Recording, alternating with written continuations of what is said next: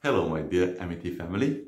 I just wanted to acknowledge, you know, it's been more than two years since the COVID started and there was a lockdown. And I gave a video very similarly talking about COVID and asking everybody to take care of themselves and how, you know, we were supposed to work over lockdown and things like that. I just wanted to acknowledge that moment, really.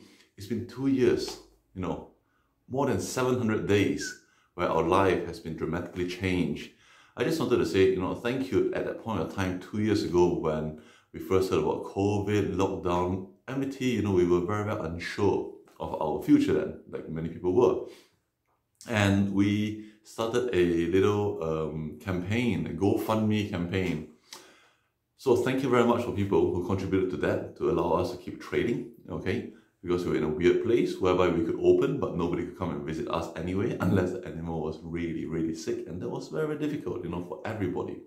I also want to say thank you for the support that we gave you know uh, that, that we received from flowers chocolate emails thoughts. That was all you know that was what kept us going really.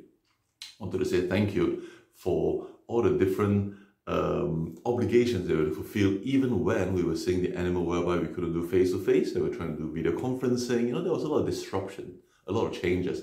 And thank you very much for being so accommodating to that. Thank you very much for the nice clients that just kept helping us and helping us with your animals, your lovely animals, even though we couldn't see you face to face, but you're still a pleasure to see the little furry things or not so furry things, scaly things, feathery things it was all very, very amazing. Thank you very, very much for allowing us to keep doing our job really. I also want to thank my team um, for accommodating during those uh, uncertain times when people go on furlough, when people are staying behind, especially Ella, who single-handedly helped uh, pretty much Amity uh, run Amity for the next sort of four months until from you know, March 2020 to the summer before everybody else came back. And that was quite testing times and trying times. Thank you very much for the vaccines as well that we receive free of charge. Come on. How lucky are we to be in UK to receive vaccines free of charge? Let me, let's be grateful for that. Also want to say thank you for all the new clients that we accumulated over COVID.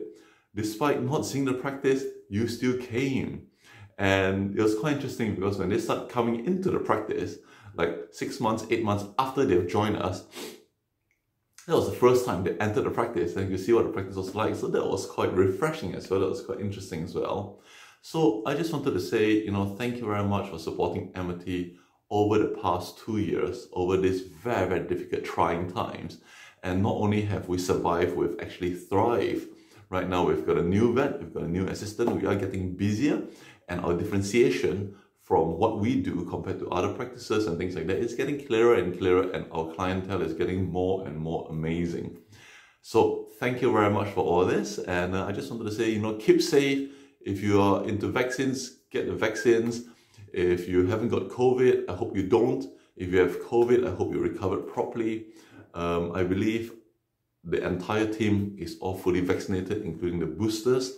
And I've had COVID uh, two months ago uh, no fun, but it was actually not as serious as I thought it would be. So I do wish you health, happiness, and keep safe because family matters.